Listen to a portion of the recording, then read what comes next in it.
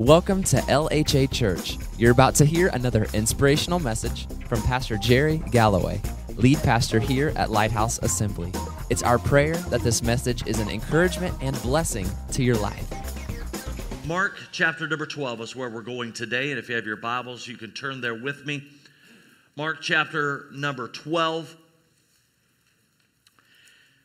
As we set forth to champion the work of Jesus Christ, and as we set forth to build champions for the kingdom of God, there are some foundational truths that we must put in place if we're going to champion the cause of Jesus Christ around us.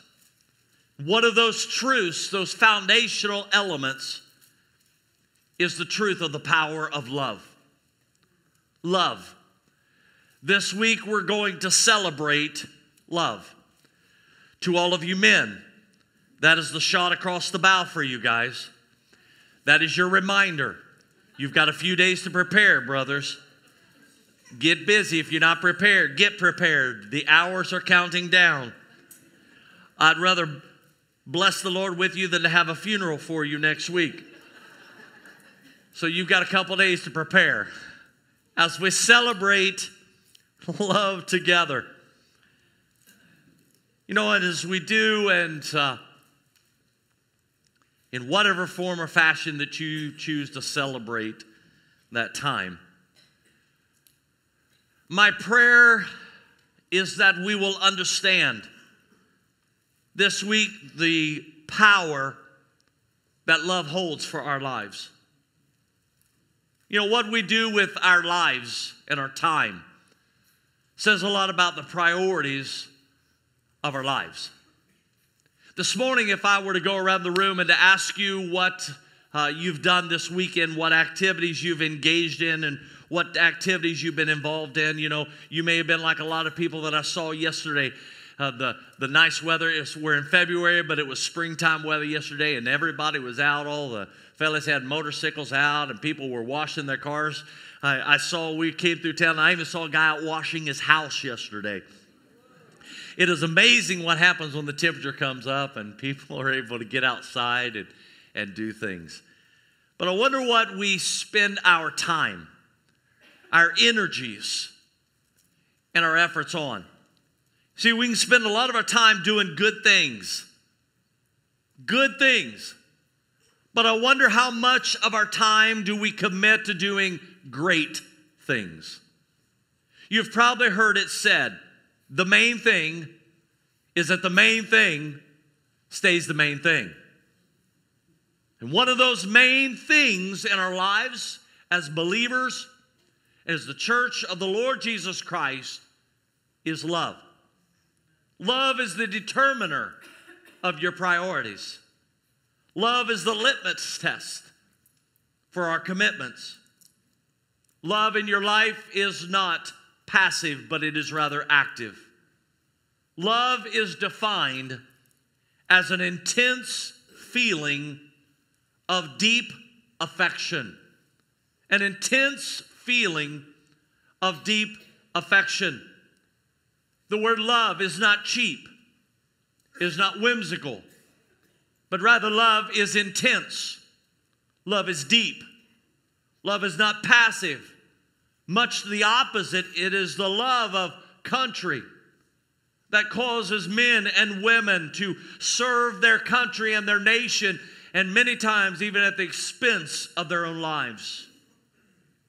It was the love of God for you and for me that caused God to send His one and only Son, Jesus Christ, not to be a good man, not to be a prophet, not to be a teacher, though He was those things. It was love for you and I that caused God to send His Son, Jesus Christ, for one reason to die upon a cross that you and I might be brought into right relationship with God. Parents, their love for their children will cause them to give up all for the benefit of their kids. Love is powerful. It's a driving force in our lives. Those whom we love or the ideas we love will cause us to give up all to keep them. Love will drive one to do things that many will see as irrational and illogical. Love is powerful. This morning, we're going to take a few minutes and we're going to look at what the Word says about love. How do we love? What do we make sure that we need to do that love stays the greatest thing in our lives? Mark chapter 12. Mark chapter 12, we find here Jesus is uh, confronted with the Pharisees and the Sadducees. The Herodians are there and they're arguing and they're debating over what the greatest commandments and what the thoughts of Jesus are. Verse number 28 says, One of the teachers of the law came and heard them debating.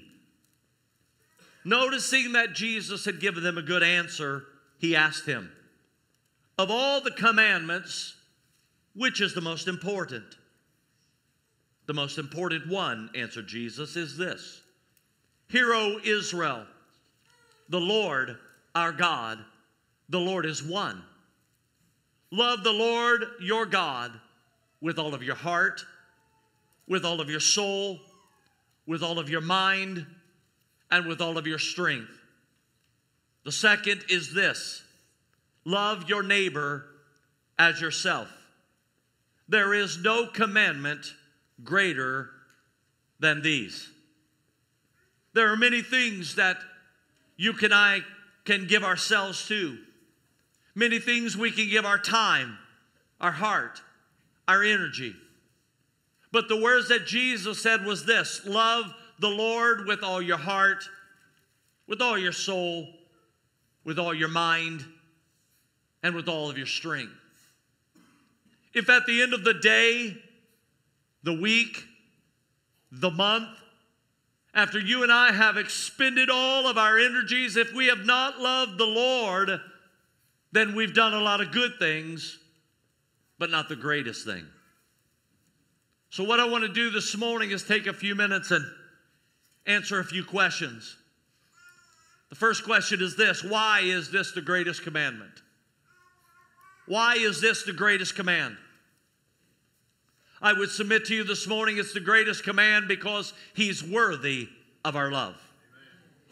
He's worthy of our love. Every person who's gathered together in this place today has the capacity to love. Every day that you live your life, you spend down that capacity to love on something. Maybe you would say, I love my wife. Guys, there's your second reminder. I'm on your side, guys. Maybe you say, I love my wife, or I love my husband, I love my kids, I love my job, I love my house where I live, I love my church. Maybe some of you say, I have activities and hobbies in life that I love to do. Some of you, maybe your thing you love is cooking. For some of you, you love what they love. They cook, you love to eat it. So many things we ascribe the word love to. Every day, you and I spin down that capacity love on something. And when you get to the bottom of that capacity, friend, if you haven't loved the Lord your God with all of your heart, with all of your soul, with all of your mind, and with all of your strength, then you and I have spent our capacity to love things that are temporary and things that will not last. God is worthy of our love. Nothing and no one is more worthy of your love than God. Exodus 15 and verse 11 says this Who among the gods is like you, Lord? Who is like you, majestic in holiness, awesome in glory, working wonders? Who is like you? And what would the answer to be? What would the answer be? No one. No one. Psalm 35 and verse 10 My whole being will exclaim, Who is like you, Lord? You rescue the poor from those too strong for them, the poor and the needy from those who rob them. Psalm 71 and 19 Your righteousness, O God, reaches to the heavens. You have done great things. Who is like you, God? Psalm 89 and verse 8 Who is like you? Lord God Almighty. You, Lord, are mighty, and your faithfulness surrounds you. When you understand the power, when we understand the might of our God and the awesomeness of our God, when we understand who He is and who He's made us to be, when we understand how He's been faithful and true, when you understand the depths that He's went to for you and for me, and then we compare the trivial things that we love, often in the place of the God who really is worthy of our greatest love. Friends, we love him, and it's the greatest commandment because he is worthy of our love. Only is he worthy of our love, but it's the greatest command because when we realize all the good things that he does for us. Psalm 103, verses 1 through 5. Let all that I am praise the Lord. With all my heart, I will praise his holy name. Let all that I am praise the Lord. May I never forget the good things he does for me. Can you say amen? May I never forget the good things he does for me. He forgives all my sin. Can you say amen again? Amen. He heals all my disease. Can you say it again? He redeems from death and crowns me with love and tender mercies. I like this part. He fills my life with good things. My youth is renewed like the eagles. When I think about the Lord, when I think about the good things He does for me, when I think about the things that I don't deserve that He does for me, when I think about the things that I, I, I should have and the things that I really have. It's no wonder the psalmist David said, Let all that is within me bless the Lord, O my soul, and all that is within me bless his holy name. Friend, when it's difficult, we're blessed. When it hurts, we're blessed. Even when it looks terrible ahead, we're blessed. May we never forget the good things He does for me. I wish I could tell you throughout my life how He's been faithful, but the truth is, I don't have words to adequately describe to you how faithful my God has been to me. I can't tell you today how many times He's been faithful because there's more than I have the ability to count. I wish I could tell you about how great his faithfulness has been. I wish I could tell you about the times I called on him and he answered, but there's too many because he listened to me. He has always been faithful. He has always been faithful. I can't tell you today that I've got it bad because there's no amount of bad that is greater than His good in my life. That didn't get in. Nope, that didn't get in.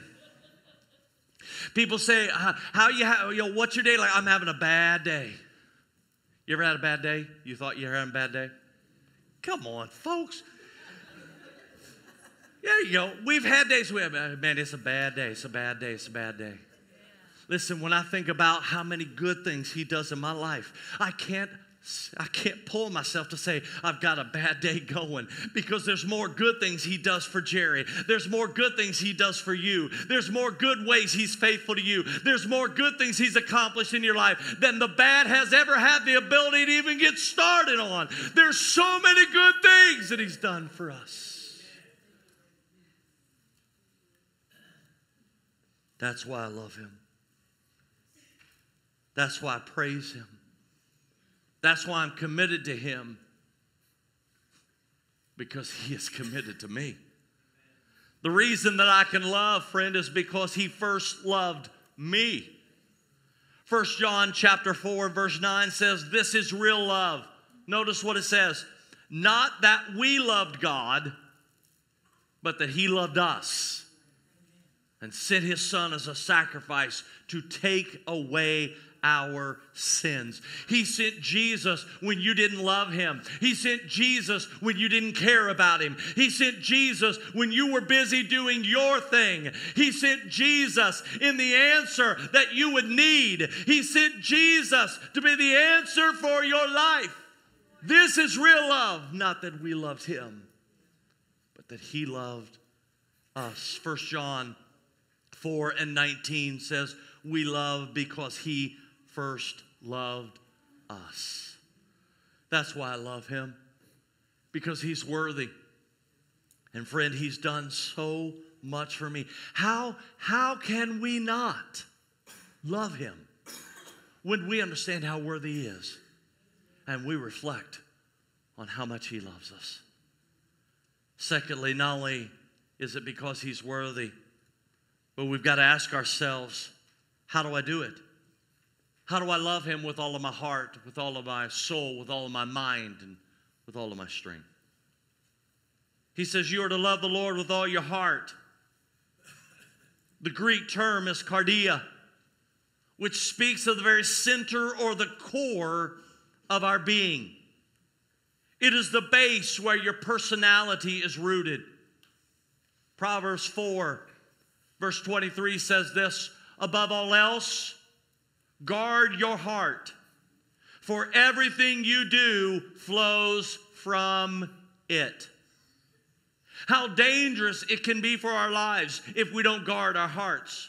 There are things that, though they are good, they're not the greatest, and therefore we must guard our hearts from them. Guard your heart. Guard your heart. Because it says everything you do flows from the heart. People say, Well, I do it because of this. I do it because of that. I do it because they said this, and I do it because they did that, and I did it because of this situation. The Bible says everything you do, friend, flows out of your heart. Bill Bright, who led Campus Crusade for Christ for many years, said this Your heart is like a throne and it's one of two ways. Either you're on the throne of your life, or Christ is on the throne of your heart. And you're kneeling before Him saying, Lord, I give it all to you, and whatever you want for my life is yours. Friend, the heart is the very center and the core of our being. God wants to be loved from that place in your life. When Jesus said, Love the Lord your God with all of your heart, that's what he meant from the very core of your being, all that you are. To love the Lord with all of my heart is to allow him to be seated on that throne of my life and to be the ruler of over my life. We're to love the Lord with all our heart. Jesus continued on, he said, You're to love the Lord with all your soul it has been said the closest English term to the word soul is the word emotion. The night that Jesus was arrested in the garden just before his crucifixion, as he is praying there, he said in Mark 14 and verse 34, My soul is overwhelmed with sorrow to the point of death. He described the soul as the place where he felt the greatest emotion. Psalm 103, 1 and 2, we read it earlier. Bless the Lord, O my soul, and all that is within me. Bless his holy name. Bless the Lord, O my soul, and forget not all his benefits. Loving God in the place of my life where there is feelings. If we never have any feelings about God, no tears of joy over his goodness no passion in following Him, no joy that is our strength, no delight in His Word, no compassion for His people. Friend, we have missed loving Him as we have been created to. When we have feelings for God, we're loving Him with our soul. There are those who will say you can't be emotional in serving God. If you do, you'll get all carried away and it'll all be wrapped up in your emotion. I do believe that God is a God of balance, and I believe He's called us to be a people of balance. But I also know this I am emotional because I'm created in His image. The Bible tells us God is a God of emotions. All you got to do is open your Bible and you'll find that God gets angry. How many of you know that's a tough day when God's angry? There's days when God is angry, days when God sorrows, days that God delights, days that God has compassion. Zephaniah 3 and 17 says, For the Lord your God is living among you. He is a mighty Savior, and He will take delight in you with gladness. With His love, He will calm all your fears. He will rejoice over you with joyful songs. He's a God with emotions, and we are His people, and He created us with emotions inside. We're to love the Lord with all of our heart and we're to love him with all of our soul.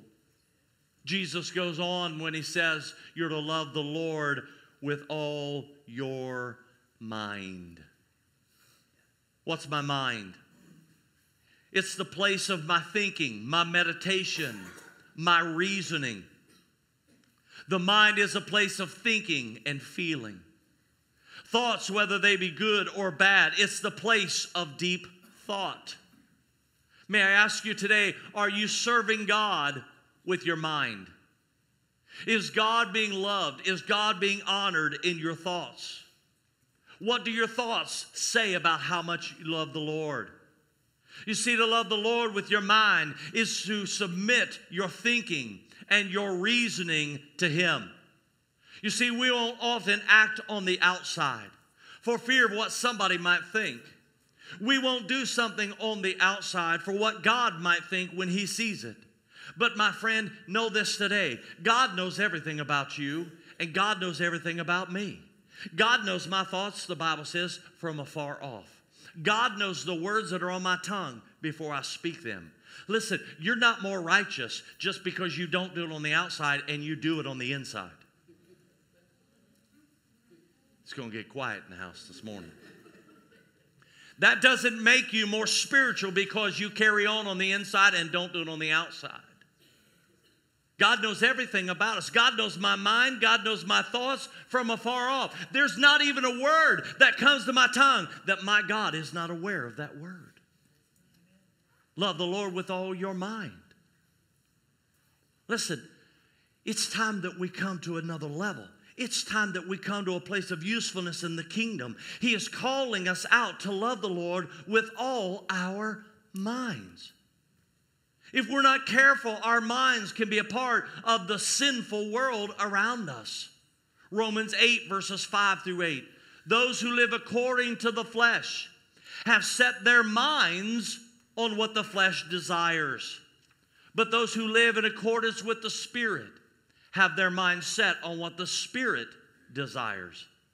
The mind governed by the flesh is death, but the mind governed by the Spirit is life and peace. The mind governed by the flesh is hostile towards God. Have you wondered as you've been watching the news? Have you wondered as you're seeing things in the world today? The hostility against God, the hostility against believers. Listen, friend, it's because the mind that is governed by the flesh is hostile to God. It doesn't submit to God's law, nor can it do so. Those who are in the realm of the flesh cannot please God. So, how do I love God? With my mind. Ephesians chapter 4, verses 22 through 24. You were taught with regard to your former way of life to put off your old self, which is being corrupted by its deceitful desires, to be made new in the attitude of your what? Your what? Your mind. And to put on the new self, created to be like God in true righteousness and holiness. Romans 12 and verse 2 do not conform to the pattern of this world, but be transformed by what? The renewing of your mind. Love the Lord with all your heart. Love the Lord with all your soul and your emotion. Love the Lord with all your mind, the place of your thinking, the place of your reasoning. Love God in the place of your meditation. Love Him in your thinking. May there be no parts dark in our lives, even in the area of our thinking. Next, He says we're to love Him not only with our heart, not only with our soul and our mind, but He says, Love the Lord your God with all of your strength. This gives us a picture of physical capacity. Each day, beginning a fresh capacity to love Him with our energy, our vitality, our strength. Each day, we began with a new capacity to love Him with our strength. The question we must ask today, and we must come to an answer, is what will we spend our strength on? You see, there are many good things that we can spend our strength on. And at the end of the day, when the day comes to a close and we've spent our strength, and if it's not been on the greatest things, we've missed loving God with all of our strength. There's a life to live. There are duties in this life to be fulfilled. How many y'all are going to go to work tomorrow? Is it, is it like vacation week or what? How many y'all are going to work tomorrow? Either that or everybody retired since last Sunday. you're going to go to work. There's duties you're going to have to fulfill. The truth is, how many of you here are parents? If you're a parent, you're busy. You say, well, they moved out. Well, now you get to help with their kids. And the truth is, if you're here and you're not a parent, you're busy. Life is so busy right now.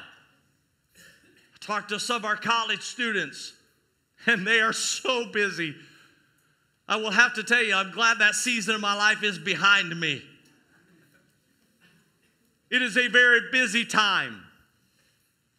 Life has the ability to keep us occupied and keep us drawn in.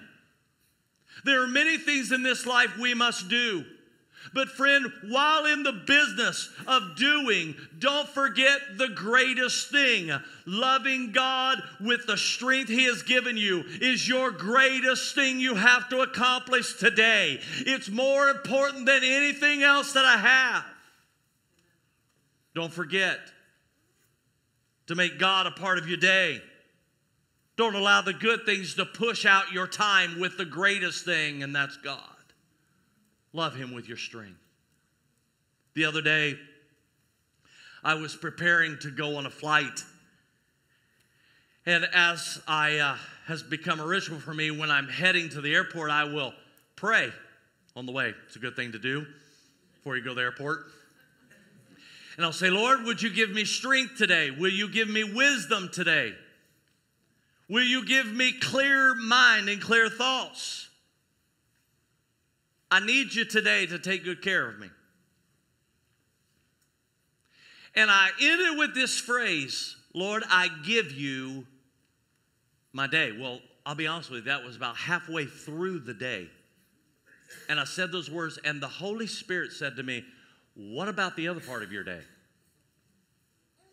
You ever had those times the Holy Spirit just kind of out of nowhere, you weren't anticipating it, and the Holy Spirit shows up and just kind of smacks you a little bit? and I got thinking, you know what? I needed him when I put my feet on the floor. I needed him this morning when I opened my eyes. I needed him when I got in the car and was driving. I needed him in everything that I had to accomplish. I needed him in every waking moment of my day. And friend, I would remind you of this there's nothing you can do in this life separate from God. There's nothing in this life that you can't say, God, don't worry about it. I've got this one covered. I'll take care of it. He says, I want you to love me with all of your strength. What that means is everything my strength will be spent on today, I want to love him with that. All my energy He's given me. I want to love Him with the energy He's given me. Notice is to love the Lord with all your strength. You will notice on each one of these parts love the Lord with all your heart, with all your soul, with all your mind, and with all your strength. All of my heart, all of my emotion, all of my mind, all of my strength. Lord, I want you to have all of me. I want to hold back no part of my heart from you, no part of my emotions that I kind of keep as my own. And God, this is my space. That's yours, but this is my space. No part of my mind am I thinking that it's like, God, I'm okay over here. I'm going to keep this little part to myself. I'll do it with you out here, but this is my little area. All my mind, all my strength. Does that mean all day long, all I think about is God? No. I'm, I'm just being real with you. Some days, have you ever had the kind of day where you get the day started and it's just like a whirlwind, and you get the end of the day and you're like, where did the day go? I mean, it's flown by. Listen, you and I live a busy life, we live a hectic life. Here's what God is looking for from you and I that though I have to think about a lot of things, and there's a lot of things that I like to think about. I like to think about hobbies. I like to think about doing things. I like to think about going out and eating supper with my wife. I like to think about, how many y'all like to think about vacations? How many y'all like to think about spring? Yes, it's coming. I've got good news. We're closer than we were. It's coming. I like to think about those things. That's okay. That's okay. Some of you have hobbies. We had we had a bunch of ladies here yesterday, and they were doing uh, crafts together, and they're in there, and everybody's got their own little thing, and they're doing their own thing, and some of them are making things, and some of them are drawing things and writing things, and they enjoy doing it. They get together, they laugh, they have fun. That's all okay. So how do I love Him with all of me and yet I have these other things in my life. It's this. I like those things. But those things in my heart does not compare to the space that God gets. I'll be honest with you. I love my wife. We've been married a long time. And we're going to be married a lot longer time. And I love her. but not like I love Jesus. And you know what? She's okay with that because she'll look at you in the face, she'll say, I love you, but boy, not like I love Jesus. And you know what? I love my kids, but not like I love Jesus.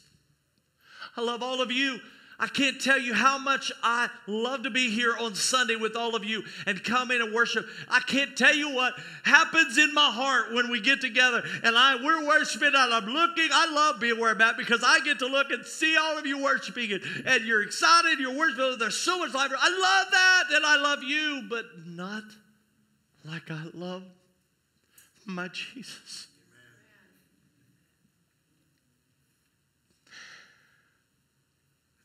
And so, how do I love Him with all my heart, all my soul, my mind, and my strength? He is the greatest priority of my life. Yes, there are other things in life that I have to do and other things I have to be, but none get the place that He gets in my life. Would you bow your heads? My Heavenly Father and my Savior, Jesus. I stand before you in this place and stand before these men and women. And Lord, my heart today, my heart is challenged. My heart is challenged when I look at the trivial things that I give my energy to in this life. And I'm so tempted to let those things get out of proper alignment. So tempted to allow those things to take a higher place in my life than what they ought. Lord, I want you to know today that I do love you. But I'll be honest with you, Lord, I want to love you more than I did yesterday. I want all of my strength, my greatest strength I've got, I want it to be for you. My thoughts, oh God, you know my thoughts from afar. I want to love you, God, with my thoughts. God, you know my emotions. God, you know how sometimes we get so, so wrapped up in our emotion and we are, we worry, we fret, we are angry. God, we want to love you with that part of our life. We want to love you with our emotions, the deep part of who we are. Father, you challenged us to guard our hearts because it is the gate to our life. Whoever controls the heart controls the life.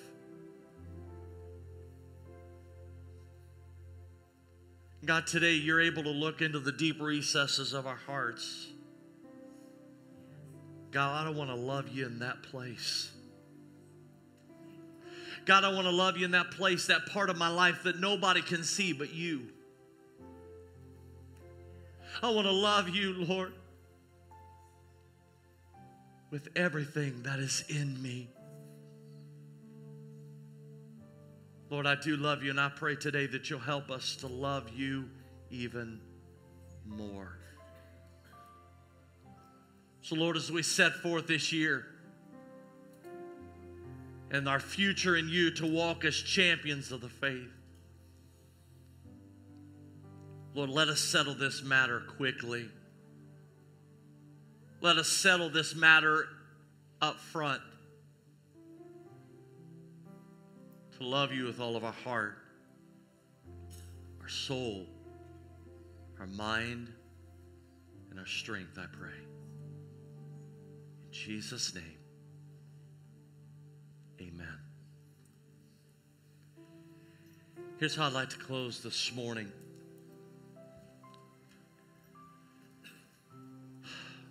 Folks, this is the thing between you and, and Him.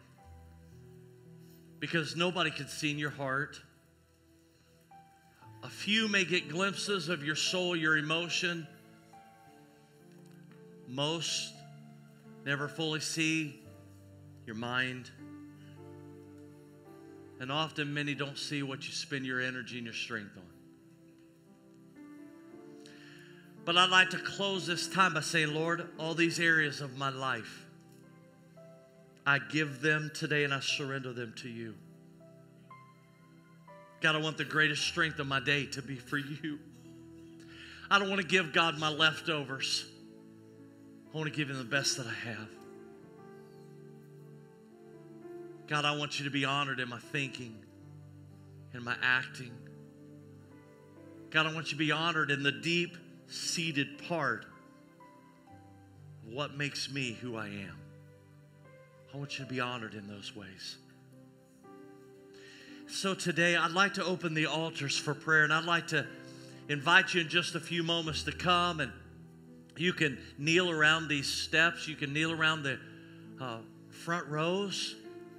You can kneel in between. I'd just like to invite you today to come and spend some time in prayer. And maybe, I don't know, maybe that's something that you're not accustomed to or, or used to doing. I'd like to invite you to do something out of the ordinary as an act of faith. And really, you know what, friends? When I when I bow down, it's really I'm in a place of yielding. I'm making myself lower so he can be higher. It's a sign outwardly of what's going on inwardly. And I'd like to encourage you to find a place of prayer somewhere if physically possible for you, to find a place to kneel down and just to pray and just to make it, Lord, Lord, I want you, I want to love you with all my heart. And friend, if there's areas that He, the Holy Spirit begins to say, you know what? Hey, this little area here in your hearts, just, just, Lord, I'm so sorry. Lord, would you forgive me? I want to love you with all my heart. Lord, I want to love you with all my soul. I want to love you with all my mind. God, I want to love you with all my strength. Everything that makes Jerry Gallaway who he is, God, I want to love you with all that. So that's how I'd like to close our time. We won't have a dismissal prayer when when you feel dismissed to leave, feel free to do so, my friend. And if you want to stay as long as you want, it, the altars will be open. And I just want to encourage you, find a place. And on this Sunday, early in the year, let's set forth to love God with all of our heart, soul, our mind, and our strength. As Paula begins to sing, would you come? And let's just spend some time in prayer in His presence. God bless you as you come this morning.